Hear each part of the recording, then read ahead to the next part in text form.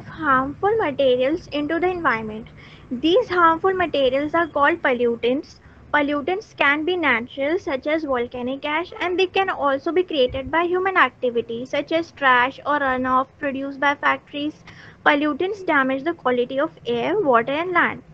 Then there are major types of pollution which are air pollution, water pollution, soil pollution or land pollution and so sound pollution or noise pollution. Then uh, our main topic is air pollution. Air pollution can be defined as the presence of toxic chemicals or compounds, including those of biological origin in the air, at levels that pose a health risk. In an even broader sense, air pollution means the presence of chemicals or compounds in the air which is usually not present and which lower the quality of the air or cause detrimental changes to the quality of life, such as the damaging of the ozone layer or causing global warming. Then there are some major pollutants. There are six major air pollutants that have been designated by the US Environmental Protection Agency EPA as criteria pollutants. Criteria meaning that the concentrations of these pollutants in the atmosphere are useful uh, as indicators of air quality. Then we can see uh, the diagram here. Then uh, carbon monoxide is one of them, sulfur oxides, particulates, volatile organics, nitrogen oxides, and the, these are the sources that these uh, chemicals come from like industrial processes, stationary source fuel combustion and transportation and other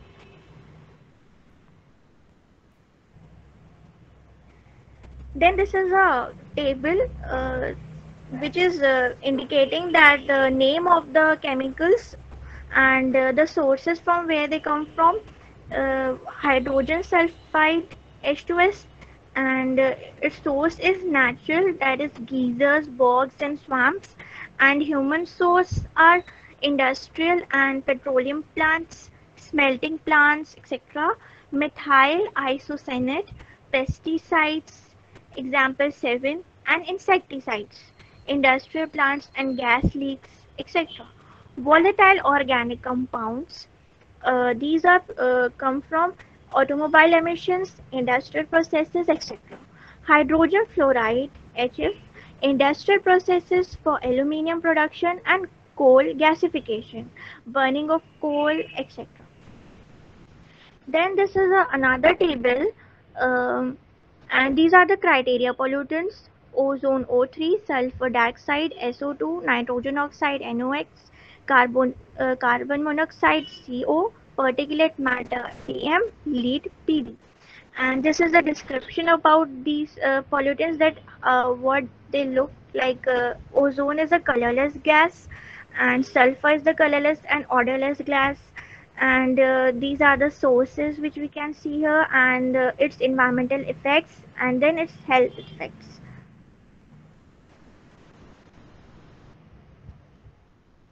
So we can see that these criteria pollutants has major effects on environment as well as on our health. Then causes of air pollution. What are the causes of air pollution? There are lots of causes the burning of fossil fuels, industrial emission, indoor air pollution, wildfires, microbial decaying process, transportation, open burning of garbage waste, construction, demolition, etc. This is the percentage uh, of the total uh, air pollution caused by different or various uh, sources. Then this is a data which is uh, interpreting about uh, various uh, states and uh, Delhi as an individual city. And it is indicating about the rate of air pollution and water pollution and soil pollution. And this photo we can see that uh, these are the uh, vehicles and they are producing a lot of um, carbon monoxide in the atmosphere and uh, causing air pollution. And these are the chimneys factories which are harming the environment. Then this is a pie chart indicating the causes of air pollution. And uh, the major uh, we can see that the major part is produced by transportation. Then uh, the orange is industrial process then uh, the yellow is indicating the fuel combustion and uh, green is indicating the solid waste disposal and uh, the brown is miscellaneous. Then deadly effects of air pollution.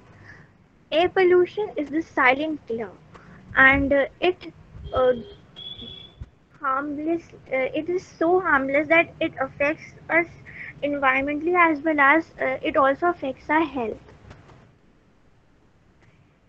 then health and environmental effects of air pollution. Air pollution can harm us when it accumulates in the air in high enough concentrations. People exposed to high enough levels certain air pollutants may experience irritation of eyes, nose, throat, wheezing, coughing, chest tightness, and breathing difficulties, worsening of existing lung and heart problems such as asthma, increased risk of heart attack. Then we can uh, see the environmental effects uh, along with harming human health, air pollution can cause a variety of environmental effects such as acid rain, global warming, ozone layer depletion, greenhouse effect, haze, eutrophication, global climate change, effect on wildlife, etc. Acid rain. Acid rain is precipitation containing harmful amounts of nitric and sulfuric acids. These acids are formed primarily by nitrogen oxides and sulfur oxides released into the atmosphere when fossil fuels are burned. These acids fall to the earth either as wet precipitation such as rain, snow fog or dry precipitation such as gas and particulates. Some are carried by the wind, sometimes hundreds of miles. In the environment, acid rain damages trees and causes soils and water bodies to acidify, making the water unsuitable for some fishes and other wildlife. It also speeds the decay of buildings, statues, and sculptures that are part of a national heritage. So it is very severe effect of air pollution. Then we come to eutrophication. Eutrophication is a condition in a water body where high concentration of nutrients such as nitrogen stimulate blooms of algae which in turn can cause fish kills and loss of plant and animal diversity. Although eutrophication is a natural process in the aging of lakes and some estuaries, human activities can greatly accelerate eutrophication by increasing the rate at which nutrients enter aquatic ecosystems. Air emissions of nitrogen oxides from power plants, cars, trucks, and other sources contribute to the amount of nitrogen entering aquatic ecosystems. We can see the picture here.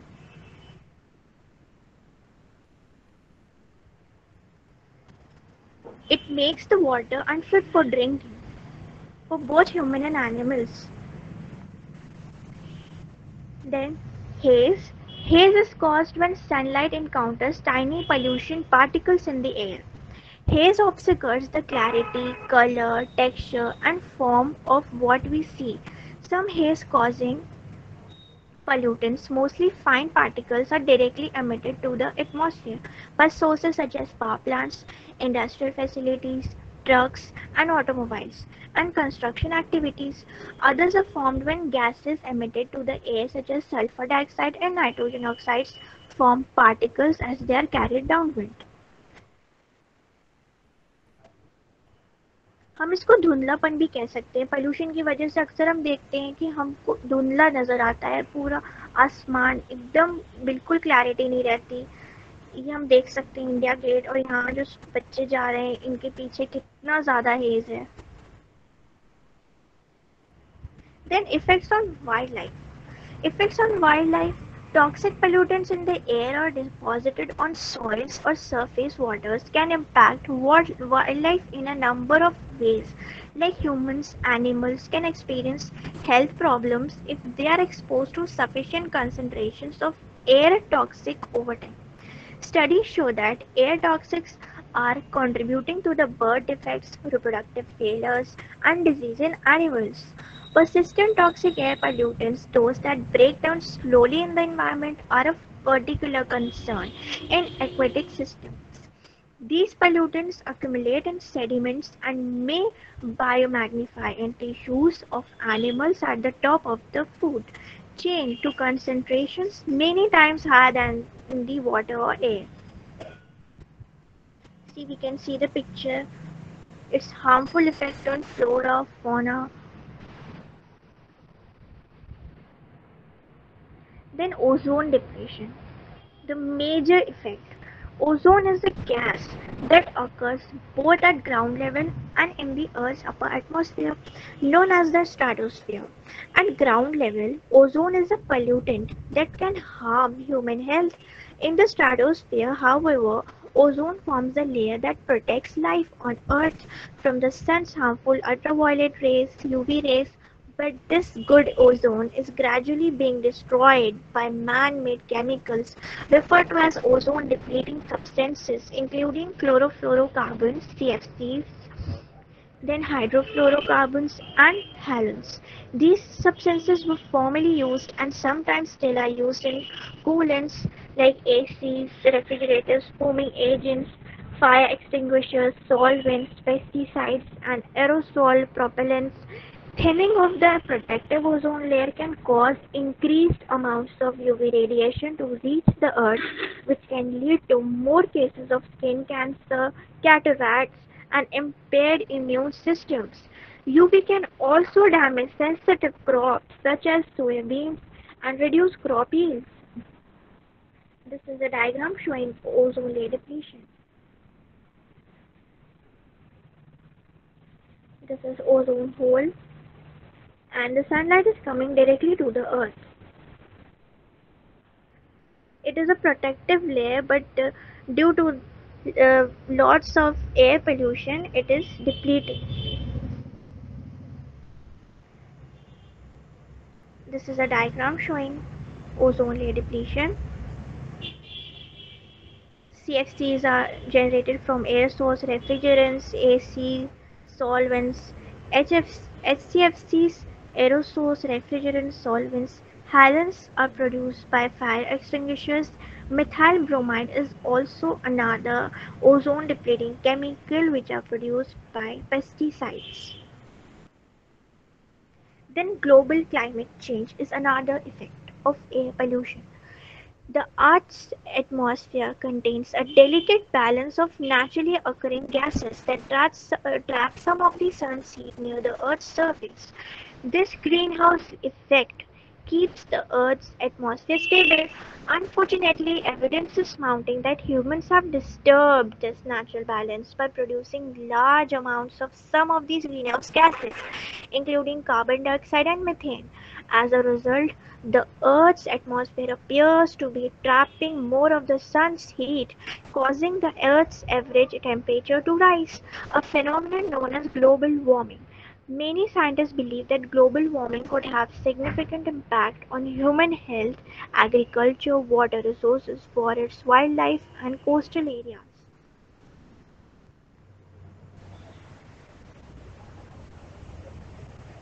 This is a picture showing greenhouse effect. See, the solar radiation is reflected by the earth and the atmosphere. Most radiation is absorbed by the earth's surface and warms it. Some of the infrared radiation passes through the atmosphere, some is absorbed and re-emitted in all directions by greenhouse gas molecules. The effect of this is to warm the Earth's surface and the lower atmosphere, but due to the presence of high CO2 and methane, these uh, rays are trapped in the uh, atmosphere of uh, Earth. Like uh, we can compare the situation of uh, the green uh, glass glass greenhouse effect which is used in horticulture that a glass uh, surface is made for the flora uh, to grow. And the heat is trapped inside the glass. So same happens with the earth atmosphere also. The heat is trapped. And it can't be radiated. And due to which the temperature rises. Then global warming. See, the earth is melting. We can see that various glaciers and uh, ice belts are melting and it is causing lots of damage to property and it is also causing floods